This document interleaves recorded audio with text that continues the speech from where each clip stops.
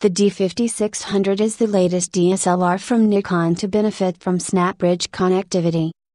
Nikon has announced the D5600, a new mid-range DSLR which promises to make sharing content on the go easier and quicker thanks to an always-on Bluetooth smartphone connection.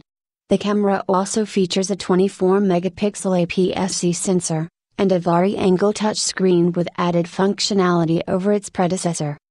The D5600 follows Nikon's updates to its flagship and entry-level APS-C DSLRs earlier this year, with the D500 and D3400. Unfortunately, it's a decidedly modest upgrade over the nearly two-year-old D5500, with SnapBridge connectivity the headline edition, and most other specifications staying the same. As such, that means the camera still features a 24 megapixel APS-C CMOS sensor, has an ISO range of 100 to 25600, and a top burst speed of 5 fps, frames per second. Autofocus is again handled by a 39 point phase detection system with 9 cross type sensors. Video recording is still pegged at full HD 1080p 60 fps, which will disappoint videographers who had hoped for a 4K upgrade.